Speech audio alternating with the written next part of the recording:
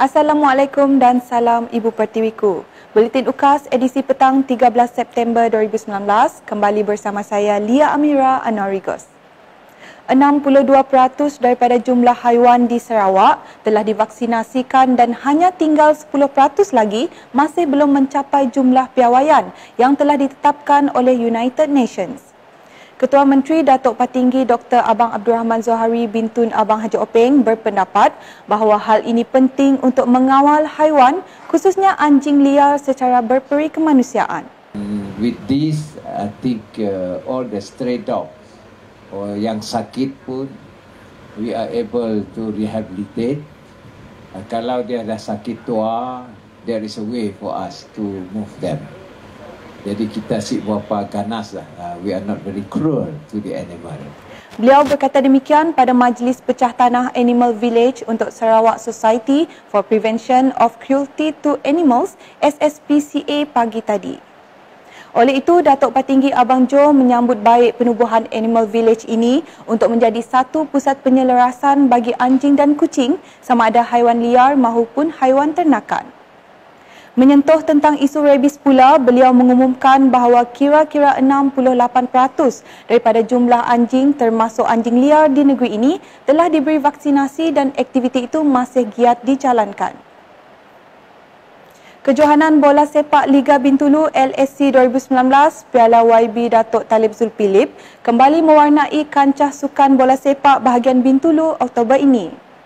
Menteri di Jabatan Ketua Menteri, Integriti dan Ombudsman Datuk Haji Talib Zulpilip akan menghadiri majlis pembukaan rasmi dan sepak mula kejohanan tersebut pada 5 Oktober 2019 di Padang Bola Sepak Stadium Bintulu. Setakat ini, sebanyak 15 pasukan telah memberi maklum balas bagi menyertai kejohanan ini. Kejohanan ini merupakan anjuran Persatuan Bola Sepak bahagian Bintulu, BIFA, dengan kerjasama Pusat Khidmat DUN N67 Jepak, Lia Sport Center, Lembaga Kemajuan Bintulu, Kelab Kidurong Bintulu dan Kementerian Belia dan Sukan Negeri Sarawak serta lain-lain agensi. Okey, kita mahu belia-belia lebih aktif. We all know the reason. Belia aktif, belia cergas, kalau beliau cegah tidak ada masa nak buat nakal-nakal lah. Semua sibuk. Yang sihat tapi bahagian besar belia kita aktif. So we want them to be active okay sihat dan aktif. Beliau berkata demikian pada sidang media Liga Bintulu LSC 2019 Piala YB Datuk Talib Zulpilip pagi tadi. Beliau yang juga ahli Dewan Undangan Negeri N67 Jepak menambah, perlawanan seterusnya akan dimainkan pada setiap hari Sabtu dan Ahad di tiga lokasi pertandingan iaitu Padang Bola Sepak Sintetik Turf Kelab Kidurong Bintulu, Padang Bola Sepak Sintetik Turf BDA, Dewan Suara dan Stadium Muhibah.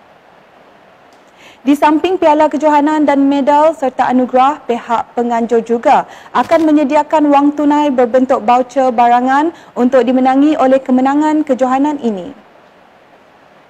Liga Bintulu LSC akan dijadikan satu kejohanan duit tahunan sebagai titik permulaan untuk pelan jangka masa panjang bola sepak bahagian Bintulu. Generasi muda diingatkan untuk mengingati perjuangan generasi masa lalu bagi mencapai kemerdekaan daripada penjajah. Ahli Dewan Undangan Negeri Adun Telang Usan Denis Ngau berkata, sambutan kemerdekaan bukan sekadar menaikkan bendera, malah ia adalah satu perjalanan yang panjang dalam pembinaan negara supaya generasi muda kini dapat menikmati apa yang ada sekarang. Beliau berkata demikian ketika majlis penutupan Karnival Kemerdekaan SMK Merbau Miri hari ini. Edisi ke-15 Karnival yang bermula sejak 22 Julai telah diadakan sempena sambutan Bulan Merdeka. Beliau menambah generasi muda kini mempunyai peluang untuk mendapatkan pendidikan, kebebasan tidak seperti pada zaman dahulu. Dennis juga menegaskan kepentingan menanamkan semangat patriotik di kalangan generasi muda supaya mereka dapat menghargai makna kemerdekaan. Dalam majlis itu juga, Dennis Ngau menjanjikan peruntukan RM10,000 daripada projek kecil luar bandar MRP kepada Persatuan Ibu Bapa dan Guru SMK Merbau PIBJ. Sekian Buletin UKAS edisi petang 13 September 2019 berakhir di sini. Saya Lia Amira Anwarigos bersama kru penerbitan Buletin UKAS. Bertemu kembali pada Buletin UKAS edisi malam.